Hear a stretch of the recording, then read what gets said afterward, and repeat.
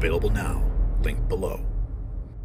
Brace yourselves, America, for the latest chapter in the Democrats' dystopian saga as Senator Bernie Sanders unveils his most outrageous proposal yet a 32 hour work week.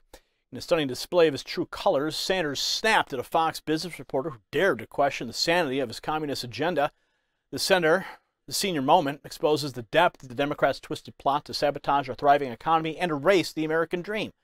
As we peel back the layers of this communist light nightmare, it becomes clear that Bernie's volatile outburst is just the tip of the iceberg. Small businesses are set to crumble under the weight of skyrocketing labor costs while job growth stagnates and the nation's prosperity hangs in the balance. So don't miss this eye opening report as we uncover the sinister intentions behind the Democrats' latest scheme to mess up the economy and usher in a future we should all fear. Now, folks, before we dive into the latest of Bernie's senior moment, let me remind you about the importance of protecting your hard earned money. Just like the Democrats' misguided attempts to mess with our economy, soaring electricity bills are threatening American households. Power companies are drowning in $13 million of uncollected bills and costs keep climbing. But there is a solution, a magical little device. I'm holding it right here. It can help slash your power bills and beat the greedy utility companies at their own game. This compact energy saving device optimizes your home's power usage, and you can get it an exclusive 65% off by visiting dontwastepower.com. That's dontwastepower.com. You'll find it linked below. Now back to exposing the Democrats' communist agenda. In a stunning display of economic illiteracy, Senator Bernie Sanders has once again demonstrated his commitment to undermining the very foundation of our nation's prosperity. His latest proposal, a 32 hour work week, is nothing more than a thinly veiled attempt to force businesses into unsustainable models that will inevitably lead to widespread job losses and economic devastation. And when confronted by Fox Business reporter Hillary Vaughn about the potential consequences of his outrageous plan, well, Sanders resorted to the tactics of a petulant child, snapping at the reporter and refusing to provide a coherent answer. Watch this. Can I talk to you about the 32 hour work week? It seems like Fox Business. It seems like Democrats want businesses to be taxed more, pay their really? workers. Is that what you think? pay no, their I pay think, their I, workers. Excuse me. I didn't get to Excuse ask a question. Okay, thank you. Uh, Senator, You I, want to hold it? Okay. We held a hearing on a 32-hour work week because what we have seen is that over the last 50 years, despite a huge increase in worker productivity, almost all of the new wealth has gone to the top 1%, while 60% of the people are living paycheck to paycheck. Many of our people are exhausted. We work the longest hours of any people in the industrialized world. I think it's time for a shortened work week. could I ask you a question about that?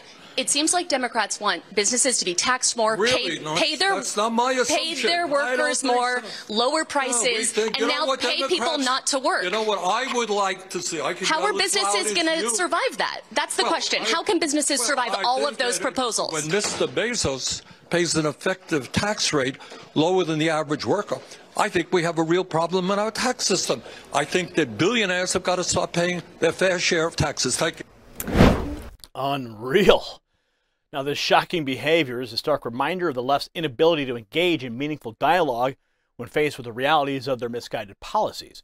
Instead of addressing the legitimate concerns raised by Vaughn, Sanders chose to deflect an attack, demonstrating a complete lack of understanding of the basic principles of economics that have made our country the most prosperous nation on earth.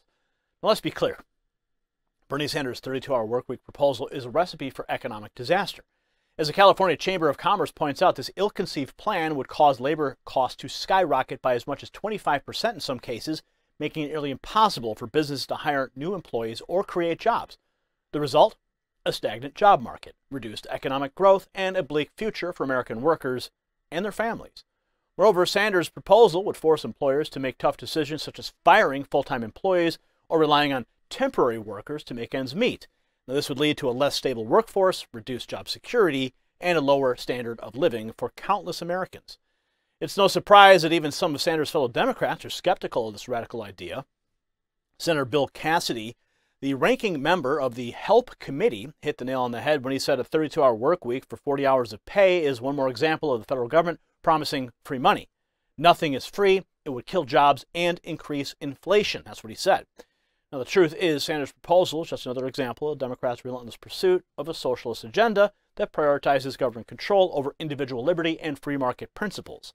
By championing policies that stifle economic growth and punish success, they seek to create a society where everyone is equally poor and dependent on the state. Now, the contrast, Republicans, they understand that the key to a thriving economy lies in fostering an environment where businesses can grow, innovate, and create jobs. By reducing regulations, lowering taxes, and promoting free market competition, we can unleash the power of the American entrepreneurial spirit and ensure that our nation remains a land of opportunity for generations to come. So, as we witness Bernie Sanders' latest attempt to undermine our economy, it's crucial we remain vigilant in defense of the values that have made America great. We must reject the siren song of socialism and embrace the time tested principles of capitalism, individual liberty, and personal responsibility. So, Bernie Sanders' 32 hour workweek proposal is a dangerous and misguided attempt to fundamentally transform our economy and erode the very foundation of the American dream. As conservatives, we must stand firm in our commitment to free market principles and resist the left's relentless push towards a socialist dystopia. The future of our nation depends on it. If you got value from this report, tap subscribe. My final thought is next. As we've seen today, Bernie Sanders and the Democrats are hell bent on destroying the American economy and the way of life with their outrageous proposals like a 32 hour work week. This is nothing more than a thinly veiled attempt to impose a socialist agenda on our great nation, and we must resist it at all costs. The stakes couldn't be higher. If we allow the left to continue down this path, we'll soon find ourselves living in a dystopian nightmare where businesses are crushed under the weight of government regulations. Job growth is stifled, and the American dream is nothing more than a distant memory. So it's up to us the American people, to stand up and fight back against this insanity. We must defend the values of capitalism, individual liberty, and personal responsibility that have made our country the envy of the world because our future depends on it. Congratulations, you made it to the end of the video. Now keep up your quest for truth with this next news report. And if you found our channel enlightening, join the millions who agree with you. Tap subscribe. Thank you for watching the Next News Network.